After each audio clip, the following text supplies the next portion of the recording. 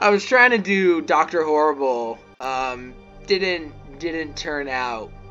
Um, welcome back to Jekyllstein Gray Plays, and today we are going to be doing these mini-sodes of The Last Door. I'm actually doing things a bit differently, but this is a different episode, so, um, so, um, I am actually taking a bit of a risk. I have class in like 40 minutes. Um, I don't think this should take that long. Again, I, as I remember, these are like really short, um, little vignettes almost. I wouldn't even call them mini-sodes. I don't know. Um, I might have to cut this off early and make it like a two-parter or something.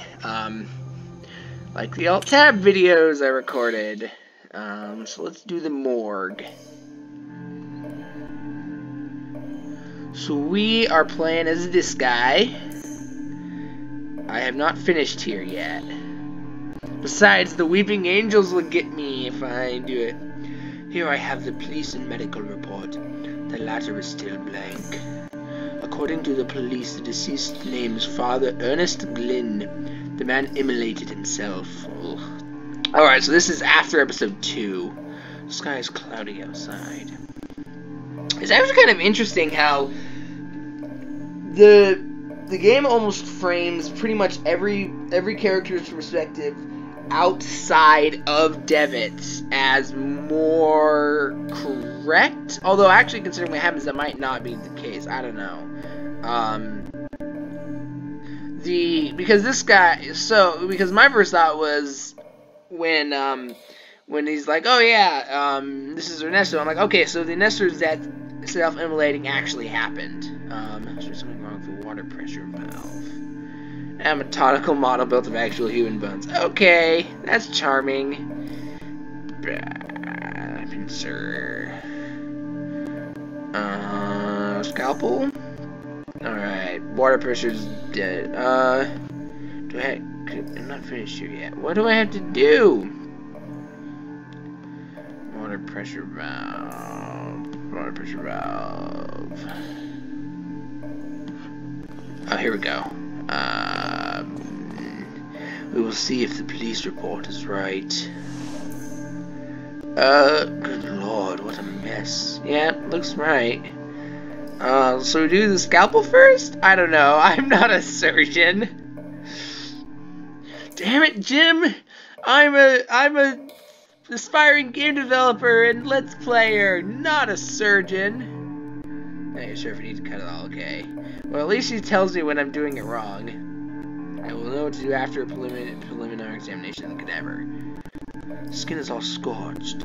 Causes of death is probably shock caused by the sudden burns. Well, at least he didn't burn to death, I guess. A horrible way of passing. What could lead a man of God to commit such an act? All that remains is to file the medical report so he can receive the proper treatment a fine gentleman deserves. Let's do here is file a medical report. Um, I was actually um, talking with my dad about the. I'm just so I recorded. I'm actually recording this pretty early in the morning, uh, 10 a.m. Um, like this is kind of late for me. I'm an, I've always been kind of an early bird, um, but uh, so I was talking to my dad about I I recorded episode four last night, and he was like, he was like, you um, you uh, he was like, you might want to make sure like your windows are closed and stuff because um because you might um you might wake up the neighbors and I was like yeah you're probably right. And he was like yeah I'm he he plays Battlefront um the new ones because he's a um he's he's a Philistine um so he plays the newer Battlefronts um with his with um, his brothers-in-law, my my mom's brothers, um, and I can still I can sometimes hear him yelling. Um, so he, and he admitted it. He was like, "Yeah, I, I have to work on this too." Um, yeah. So let's see. This case still puzzles me. If he wanted to commit suicide, why did he do it in such a painful manner? Was he drugged or intoxicated? I should check his stomach for signs of poisoning. Alright, good. He's telling us how to do an incision, I guess? Alright, I need a sharper blade. Alright, scalpel. Like, literally all I know about surgery is that, like, thing, this, that common pop culture thing is like, uh, I need a scalpel.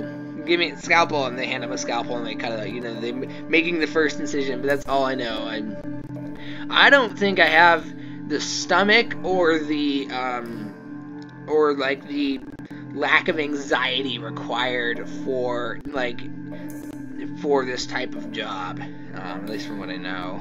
I don't know. I just don't want to hold someone's life in my hands and and have and have have to live with screwing up if I did wrong. Um, cut open, check content. So scalpel again. Oh, I guess that worked. I was like, I thought I didn't think that was gonna work. What is this? There's something strange in here. It's, it looks like a piece of paper. Something keeps on going. Well, I extract the thing. So I've been. I'm trying to make do this voice as a very, um, a very like, like, you know, a guy who works in the morgue who sees this kind of stuff all the time and has to like kind of emotionally uh, respond. Um, well, Ernest Glynn. Jeremiah Devitt, Alexandra D, and, um, who's that last guy? Um, oh, is that, I can't read it, uh, Hugo Ashdown, maybe? Um, I think that's the, I think these are the, these are the four witnesses. But what about the guy who died in the very beginning? Um, I still can't remember his name. Spectre immediately.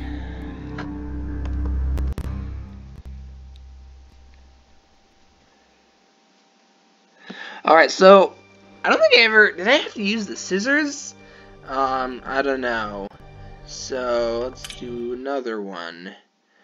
Um, if there's anything like like like the opening of episode one, I'm gonna I'll put a content warning in the in the title. Um, after being certified of your guilt by a peer jury, we find you guilty of the wicked and violent murders of 14 innocent and sick people.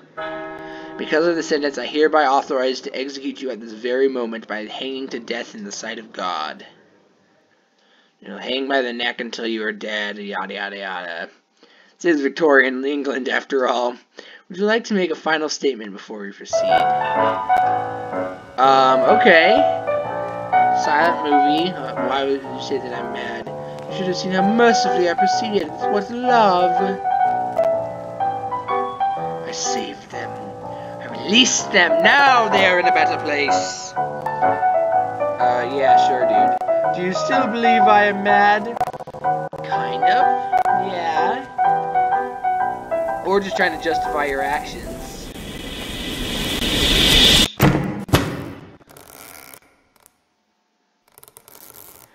Okay, so that's the, um...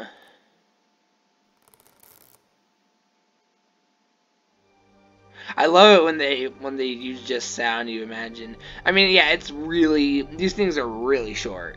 Um, this is a, just a you know these are extra things they I think they added for this edition of the game, um, and also they're they're not they're neat and they um, yeah that's and you know that's why this is like a bonus episode. Um, it's weird because these the law like the, the last Zordies these were like those were like an hour like not an hour and a half like five and a half hours like most like three of the two of them were over an hour and a half. Um, so it's actually it's kind of weird that this episode's probably gonna be much shorter than that. Although I again I can't afford to have to spend that much time on um, on this game right now. Um, I'm probably going to record uh, episode 1 of season 2 tomorrow. Um, I want to do it on, on non-work nights because I work early in the mornings. And to the others, they are all dead. I would like to talk to her. Oh, are these the nuns? Yeah. Oh, oh, this is this is the German guy. She has only spoken nonsense since she woke up. Is it nonsense? Or is it only appear to be nonsense? Remedies in China and glass jars. This Ms. Oh man, he uses Ms. Actually, I wonder when the first use of Ms. was used.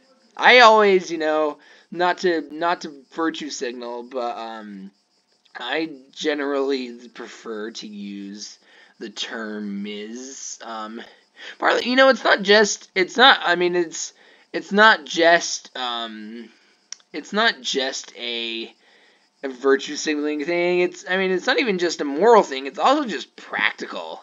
Like Ms. is is simple. You don't need to like worry about marital status or some other weird thing. It's just Mr. Ms. and then um yeah. I mean it's kind of like um like Native Americans. It's it's it's not just it's not just you know my one of my history teachers in high school was like it's not just politically correct it's also just correct and it's way less confusing because I, I obviously I never use the term um, like Indian or, or American Indian because one it's still wrong and two it's more syllables than just Native American um, and it's also like when I'm actually talking about Indian people from India you know I'm talking about Indian people from India. So it's way less confusing. So this Catholic monastery. Yeah. Good afternoon. My name is Johann Kaufmann. I'm a doctor. Would you mind if I asked you a few questions? Please be careful with what you ask. Mrs. Parnell's state is delicate. German people, in my experience, don't usually talk the way I'm like making them out of me. I don't know. I don't really can't. It's funny. I can do German pronunciation really well. I can't really do German accents very well. Um, I'm perfectly fine and able to talk, sister. Thanks for your consideration. Now, doctor, I understand you want me to repeat my story. I would be thankful to hear it indeed. I'll stay outside if you need me. I am a sane woman, doctor, in complete control of my mind and reason. You do not dare to question it. I certainly wouldn't. Then I will commence. I woke up in the dark. The room was small, so narrow that I could touch the wooden walls just by raising my elbows. This happened right after you were attacked? No, I think quite some time passed since that. I can barely remember anything of that while. When I got out, I found myself in my in my parents' house. I hadn't been there since since they sent me to school. Did you see anyone there? Your parents or maybe someone you know? No, they were not in the house, nor was any servant I had known in the years of my childhood. I was alone. I could feel the humid air on my skin, and could smell the scent of the long time abandoned. I walked the rooms, unsettled by the silence. The place had the bleak feel of a ruin. Then I saw someone. On the opposite end of the corridor, an old woman stared at me. An old woman? Who was she? How should I know? I hadn't seen her before. I followed her out through the back alley and into the streets. I got lost in the burg of Aberdeen. The streets were des- so Aberdeen's right next to the um, the boarding school, right? I think that's the case. The streets were deserted and a thick fog covered everything. Though I had seen the old woman through the fog once or twice, I, I thought I had seen the old woman through the fog once or twice, but it could have just been been just shadows. Did nobody walk the streets? Why was everybody then? I I want I actually suspect I hypothesize that that that was the a, a false choice. Same response, hmm, but you know I don't really care. I I don't know, but I haven't said there was nobody. I met some people. Vagabonds. One of them was a priest. I remember a novelist and a boy, too. The priest. Where did you meet him? I met him in a stable. Good Lord, he said mass there among the beasts. Could you imagine the profanity? It's interesting. Um, it's interesting how Catholic a lot of this is. Uh, this story is, especially since England was like really Protestant, if I remember right at the time, but it was also Anglican, you know, or maybe I'm just maybe there were a lot of Catholics. I'm maybe I'm just extrapolating, um, extrapolating, um, extrapolating from the United States, which is very Protestant, you know, like. Um, I think the, the first thing that came to mind was the um, the guy who wrote the Left Behind books, and he was like some nut job anti-Catholic conspiracy theory. Which I have problems with the Catholic Church, but this guy was like, Catholicism is inherently evil and it's a fake Christianity and all yada yada yada, and I'm like, yeah, okay, dude, whatever. Um, yeah, and um, yeah, the uh, oh yeah, and we've only had uh, JFK was our only Catholic president, which is kind of interesting. Um, there's this there was this weird idea that you were only loyal to the Pope, and I was like, I can kind of see that. Also, like, you're you're not loyal to your reverend, you know, to the leader of your church. Like, anyway, yeah. Tell me more about the novelist. The woman, the woman had never written a word. She created only in her mind, you know. She could tell the stories sentence by sentence with perfect precision, and I can even hear a piece of her last work. What was? Do you remember anything about the novelist's work? Yes, the piece she told me was something like The shadows of the past soon melted within the land that loves silence. Through the fog they walked, found themselves lost, hoping for a sign from their gods. They set camp on the beach where thirty birds awaited to meet their crowned. So the boy, what about him? I like how they just they just were like, yeah, we're not gonna we're not gonna give you one dialogue option and not proceed until you click it. Um, I came across an abandoned carriage. The horse was long dead, its bones still harnessed to the cart. There was a young man petting the carcass of the animal. Did you talk to the boy? Could you talk to this young man? He was deaf, but I think he could read my lips. When he spoke, he did it with a clear accent. He said he could only listen to the songs of the departed. I see dead people. what happened then? As I walked, the fog got denser. I could barely see anything around. I finally met the old woman. She didn't say a thing, but gave me a cardboard card, and then she left. She gave you a playing card? Oh, this is... I think this is the... Wasn't there a, someone... Wasn't there a deaf person in, um... In episode 3? Um... I want to say yes. Um, she gave you a playing card. A tarot. Yeah, so I think this is the tarot lady. It was one of those used to tell fortune. There was a, such sin, such sin. It's it's totally different than than Christian prophecies. There was a drawing on it of a veiled person holding a lamp. Then the mist seemed to clear out, and I could finally see the lamp illuminated. What do you mean? The fog opened to a giant clear space. Not in the city, it was a barren land bathed by a dark sea and something else. I'm getting, I have some memories resurfacing a bit, um, but those would be spoilers. So keep watching and you'll find out. Yay! What was it? It was there. It looked at me, the burning dark inside, the shaking, the scream, that vision, that I cannot understand. What is it, Doctor? Have I finally lost my strength of mind? Honestly, I believe you. I am sure that what you lived was real. But I'm afraid I currently lack any proof that can confirm your account.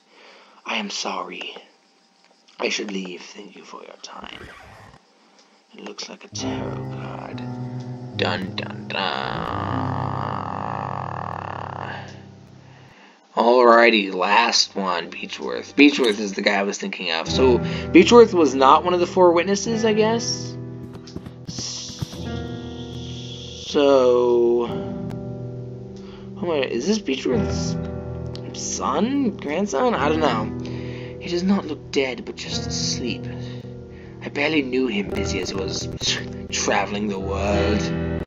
What would be of man with no aspiration for the other side to inspire or lead him? Wait a sec. Okay, what would be a man? Aspiration for the other side.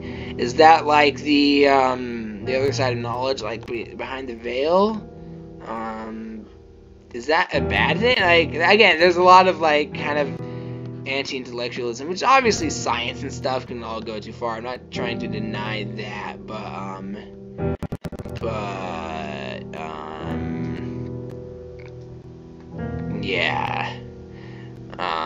but also it's, it's a bit. I mean, pretty much all the gothic stories aren't the cause of. You know, Frankenstein Frankenstein and the monsters, their lives weren't ruined by the monster's creation. It was ruined because Victor was too much of a prick to actually like take responsibility for any of his actions. Um, but more on that when I cover the Wanderer Frankenstein's creature.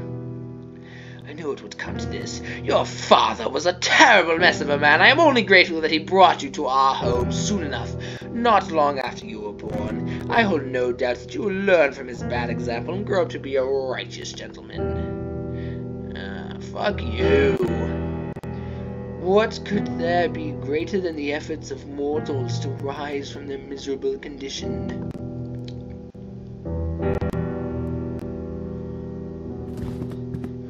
We will speak later, young man. We're busy. It's so, so sad. He was most dearest to me.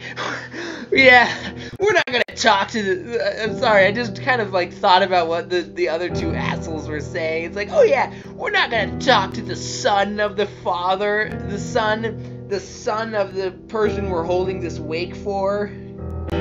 Also, where's where's the mom? Where's Miss Beechworth? You know, your father was a complicated man. He had a strong character and was stubborn as a mule, and he had taken a determination he, he believed he he had a mission in this world, though I'm not sure he knew exactly what it was. That which avoids description, the unknown, provides men with a reason to exist. I don't necessarily agree with that, but, um, this is the most sorrowful day. Mr. Beechworth was a great man, lad. Who you? This is an obscure domain. The secrets taken by man from the silence of nature and death. Its secrets. You are young Beechworth, is that right? Your father left you everything, Anthony. The house, his accounts, uh, and all his belongings for you to receive when you come of age. He was very specific in his testament, though, that you should receive that you should receive this promptly. His personal book log.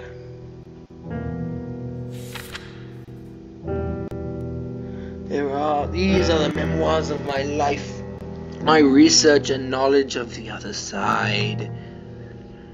Use them wisely, son.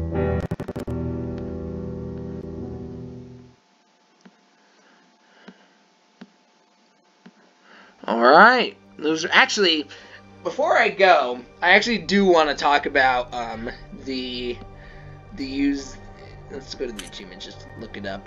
Um, just look at something while I talk. Um, I do actually want to talk about the use it wisely thing because in the um, so what's her face? what did I just seriously refer to Mary Shelley as what's her face? Okay, um, that's a thing that I did. Um, anyway, um, Mary Mary Shelley kind of did a George Lucas in that she didn't like a lot of parts of Frankenstein and um and she and and so she did a revision and and um and um that's uh, it's kind of shame, and that's the one that like the revision is the one that almost everyone knows. Um, we still have the original text, and I actually much prefer the original text, partly because I'm still like young and radical, and she was trying to tone that down a bit in the um, in her work. Um, let's see. Let's see what options are. So I thought there was an option for like 16 by 9. Maybe that's what it's at or something. I don't know. Um, anyway, so Mary Shelley is like so in the original text, you know, for those of you who don't know, the framing device of Frankenstein is there's this there's this super like enthusiastic explorer who's going he's going to go to the North Pole because they hadn't gotten there yet in when Frankenstein was written. And he's like sailing along and he's all like caution to the wind everything's gonna be great i don't um and um and in the um and in uh, and then he meets he meet he rescues frankenstein and he sees the monster but you don't know it's the monster although you probably know since you're reading the book and you have like pop cultural osmosis. Um and and so he, you know, the monster goes. He's like, "Yay!" Um, and, and, he meets Frankenstein. He's like telling him all about it. And in the in the original text, Frankenstein basically is like, "Okay, dude, we need to talk." And I'm not saying this is a bad. What you're doing is bad, but you need to learn from my story and learn how to do better.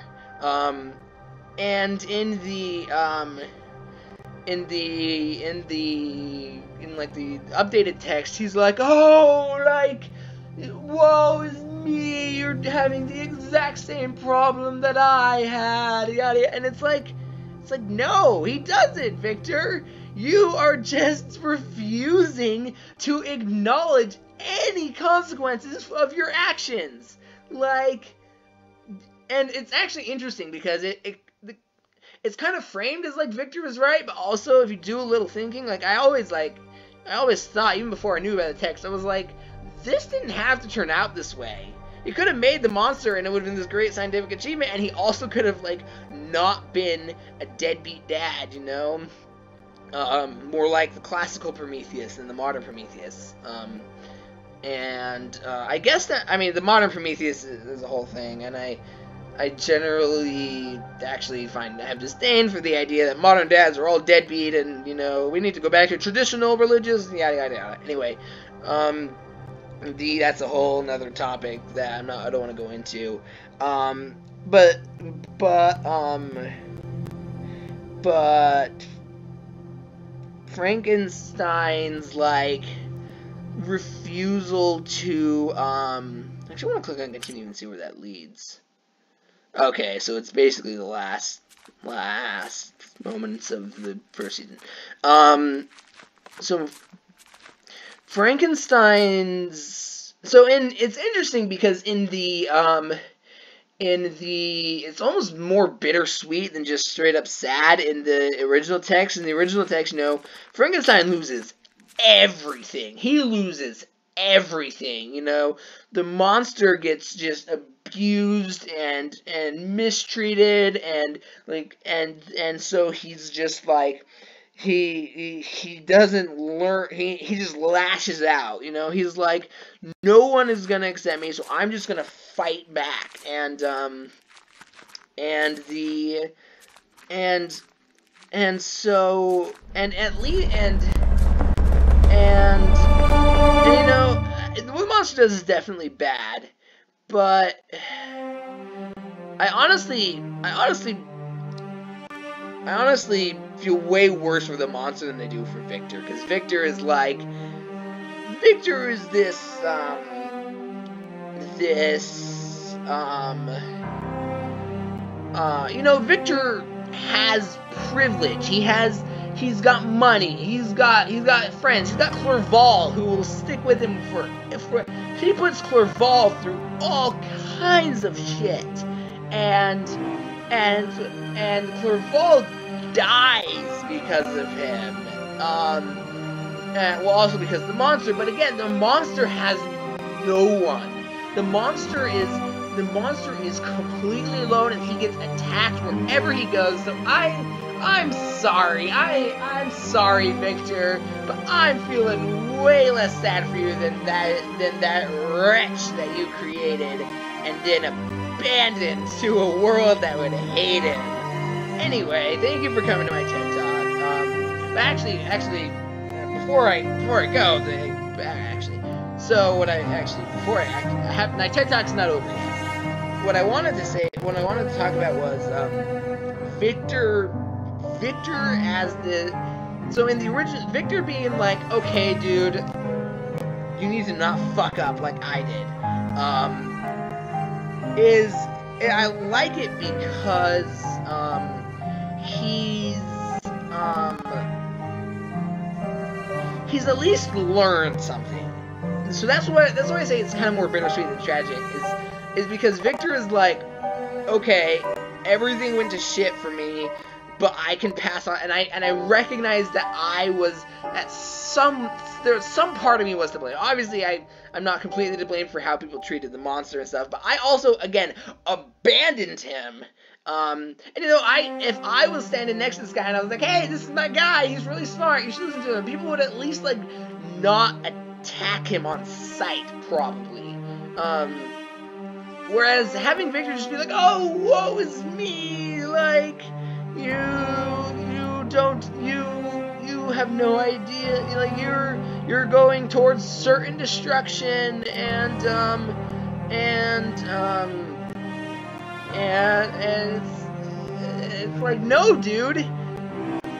People went to the north pole. It happened. It wasn't like you can you can do this but you just have to be smart about it you know um, and that's the that's the thing that I think happened with a lot of, and I, I really should not go. I go soon. Um, but I that's what happened with a lot of a lot of these old gothic stories, especially when early Hollywood got their hands on them, because they they boiled it down. It was they basically turned it into a more uh, puritanical, moralistic, like don't do this, don't like don't make life. That's God's job, and it's like yeah, but again, it didn't have to end up that way. So it's not like don't do, you know, Jekyll and Hyde is as much of a critique of Victorian society as it is of Jekyll and Hyde. You know, we all kind of have a Mr. Hyde that um that um that that part of us that almost feels like a, I know I have this like almost different person inside of me. It feels like a different person because it you know, that's part of like a baser, like, ah. not, I don't want to get too much into it, um, but it is, it's, but I channel him, I, I bring him out in, in, in, in specific contexts where it's not gonna hurt anybody, um, when you don't allow people to do that, it just, um, it just finds its way out in other ways. Um, and and so actually I watched the, the, early silent version of Jekyll and Hyde and I hated it because it basically took that lesson and was like, oh Jekyll didn't conform to all society's rules and that's why he fell and you should learn from this kids and it's like no um uh he didn't like like you guys should have been accepting of his quote unquote base desires which in to, to steal to paraphrase um, Red from Overly Sarcastic Productions, by Victorian standards, could have been anything from cannibalizing orphans to doing drag. Um, so yeah, now I'm done. Thank you for coming to my TED Talk. Thank you for watching the shortest Last Door episode I've done. Um, thank you for listening to my long rant that I think was like, like 10 minutes after I had already finished the other minisodes. Um, yeah, uh, thank you for watching. I will see you tomorrow. Um, oh, I'll, see. Yeah, I'll see you tomorrow for the next, the the first. We're starting season two of the Last Arbiter. I remember it's actually being better. So, and I really like season one. So, yep. Um, love you all. Do all the YouTube things like comment, share, subscribe, ring the bell. Um, yeah. Um, thank you so much for watching. Um, and I will see you in season two. Bye.